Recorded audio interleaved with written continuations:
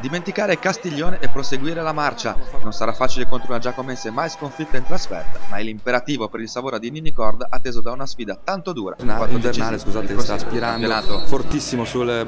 Cattaneo, Bano sugli esterni e scodellano questi traversoni. In questo momento appunto c'è un lungo lancio con Virdi, Virdi che si libera in area di rigore. Il tiro, la palla ha lambito il palo. Parte De Martis dalla sinistra, palla calciata in area di rigore dove è la sfera che passa e c'è Poluzzi che compie un intervento decisivo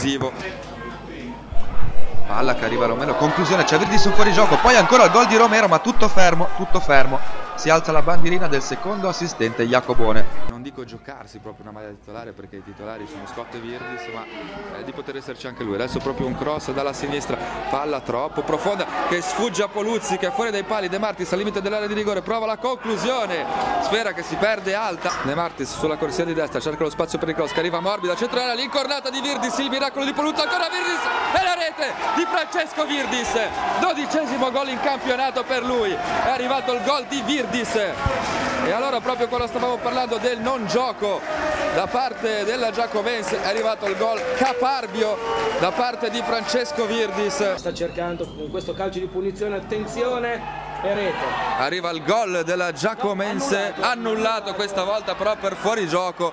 Tutti intorno al direttore di gara si alza un cartellino giallo andremo ovviamente a vedere nella moviola. Dal Rio era proprio il giocatore che era rimasto a terra e viene espulso. Espulso dal Rio per proteste. Sì, c'è stato un colpo duro. adesso, è, adesso proprio sono colpi. Il direttore di gara dovrebbe fischiare alla fine se fosse intelligente. Arriva il rosso per Gentile.